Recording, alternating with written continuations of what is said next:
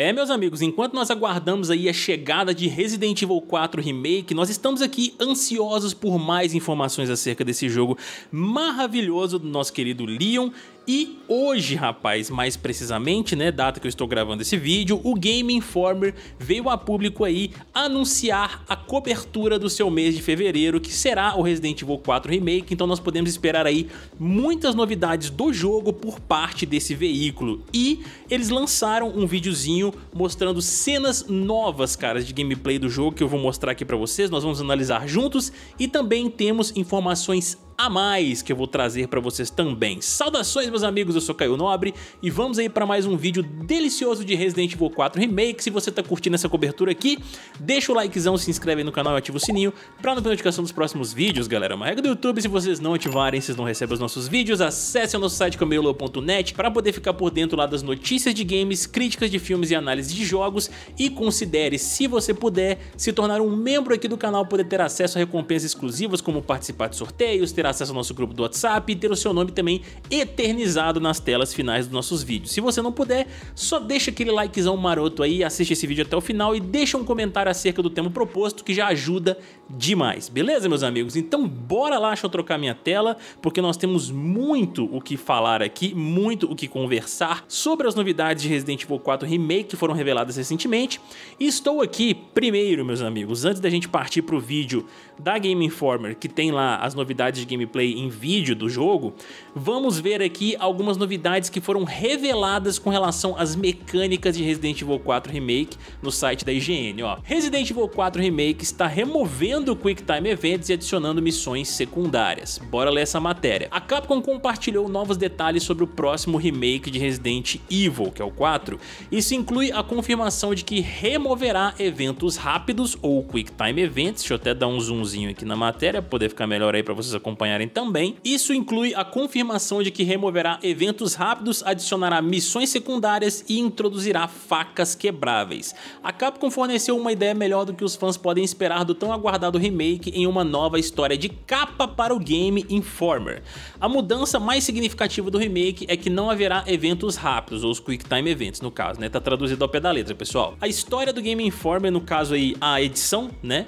Menciona que as missões secundárias também estão sendo adicionadas ao remake, afirmando que os panfletos azuis localizados no jogo são usados para coletar missões secundárias para você completar, com exemplos incluindo resolver um quebra-cabeça, rastrear e eliminar um inimigo específico. O medalhão azul colecionável que apareceu no original também retornará no remake, aquele que a gente tem que quebrar lá, que quando a gente quebra uma certa quantidade a gente tem um item especial lá no mercador. Uma das grandes mudanças aqui, né, uma das mudanças de jogabilidade na verdade, mais mais interessantes é que as facas terão durabilidade limitada e quebrarão após um certo uso. No entanto, você pode armazenar várias facas em seu inventário.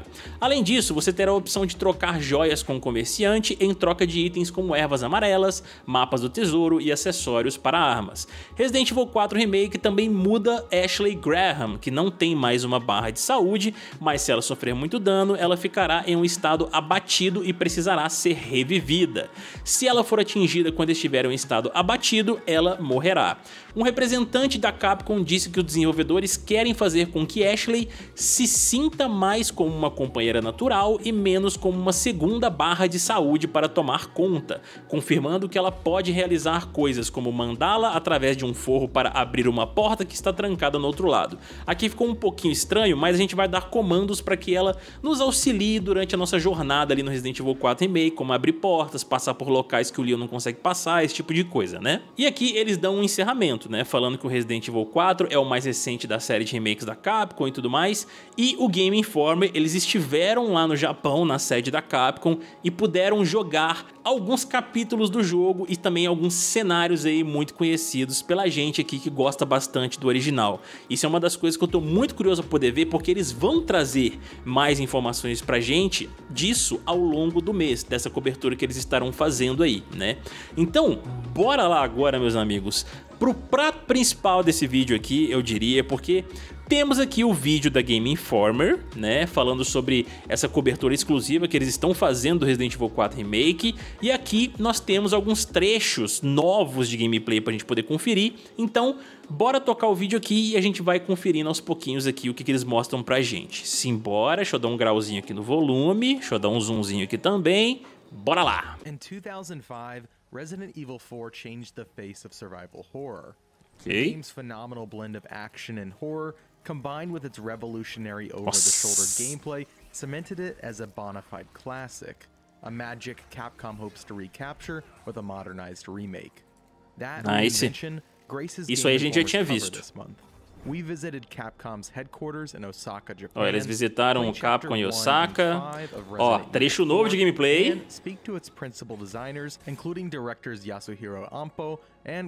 A gente vai voltar daqui a pouquinho poder previously conferir com mais detalhes, pessoal. 2 remake. Viewers can also look forward to never before seen gameplay and a new rapid fire interview. Beginning today, Rapid fire. Digital Magazine subscribers can read 12 pages sharing new details on the opening section, breakdowns of Ashley's gameplay and other tweaks, plus impressions of the church, cemetery, Olha. and house battle segments.